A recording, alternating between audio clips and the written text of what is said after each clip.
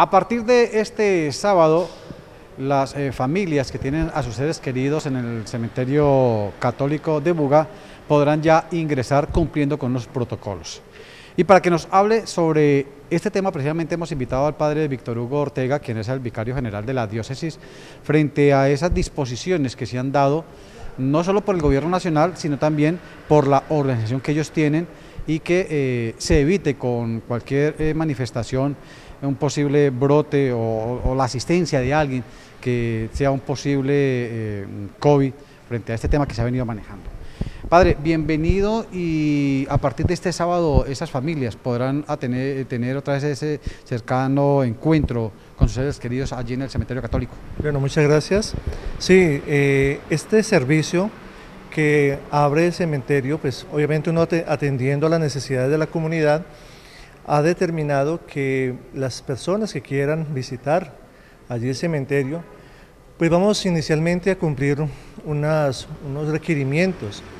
Inicialmente se había dicho que se, se hiciera una preinscripción, pero eh, tuvimos una dificultad que el teléfono colapsó. Entonces tomamos la determinación de que la gente no haga preinscripción, sino que llegue en la hora indicada, eh, que vamos a atender de lunes a viernes de 2 a 4 de la tarde. Van a entrar grupos mm, por 20 minutos al, cementerio y salen ese grupo de personas, 20 eh, personas y entran otras 20. Así vamos a hacer cada 20 minutos como para que las personas tengan la oportunidad de visitar allí los despojos mortales de sus seres queridos, todo lo relacionado con, de pronto con la tumba. Sabemos que es un tiempo cortico, pero pero hay que aprovecharlo, hay que maximizarlo, entonces ahí es donde pedimos la colaboración de la gente. También tenemos otro horario para los fines de semana, que es el sábado y domingo, de 8 y 30 de la mañana a 11 y 30 de la mañana. Entonces, esos son los horarios que la gente debe cumplir.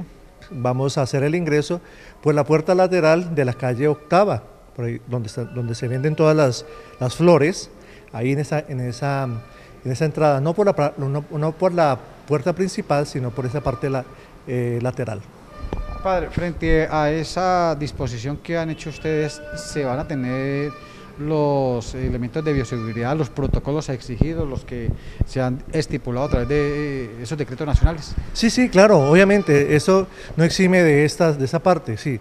La, la, parte de la desinfección, la parte del distanciamiento, la parte de la temperatura, todo eso se va a hacer, claro, hay que hacerlo, sino que ahí es donde necesitamos la colaboración de la gente. La gente que vaya, obviamente, se le pide que si ha presentado cuadros de gripa, de fiebre, contactos con COVID, por favor, no se, primero no, puede salir de casa para que se cuide. Y segundo, pues no ir allí, ya tendrá una oportunidad dentro de unos días ir al cementerio para que se cuide y nos cuidemos. No solo eh, se hace la reapertura del cementerio católico, han habido unos cambios en las disposiciones de las Eucaristías frente a las personas que fallecen. Padre, ¿cómo es? Bueno, las, misas exequiales eh, en todo este tiempo de pandemia se estaban realizando solamente en, la capilla del cementerio. A partir de esta semana, las capillas, las, celebraciones exequiales se van a realizar en cada parroquia, pero también en cementerio, si una persona quiere eh, allí.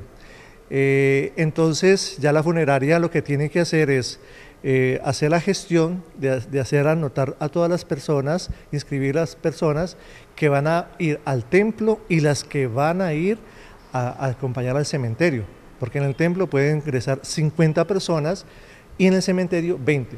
Esa gestión de, apuntar, de, hacer el registro, le hemos pedido el favor a las funerarias. Entonces, ¿Por qué? Porque pues, imaginémonos eh, llegando el féretro, las feligreses apenas inscribiendo a las personas, sería mucho tiempo. Por eso le pedimos el favor que nos ayuden las funerarias a hacer esta gestión. Padre, y frente a las 18 parroquias que tienen ustedes aquí en la ciudad de Buga, a, nivel urbano, eh, ¿se han dado las disposiciones también para que se haga la reapertura de las Eucaristías?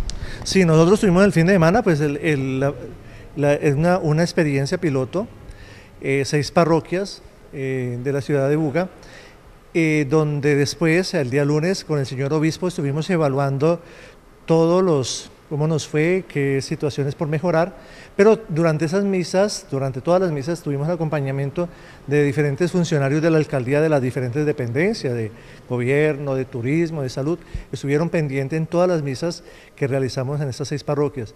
Eh, por parte de ellos, pues no hubo ninguna quejan en torno a todos los procedimientos de protocolo, de llegada a la gente, del distanciamiento, y entonces ya, a partir de esta semana, las celebraciones eucarísticas en todas las parroquias se, se abren con los protocolos, que se, ya se, se sabe, la, en todas las parroquias tenemos el sistema de preinscripción, porque es más fácil que la gente llame a la, a la, parroquia, al despacho, se preinscriba, se dé los datos, allí la secretaria o el secretario va a preguntar pues, cosas pertinentes a esto de, de bioseguridad.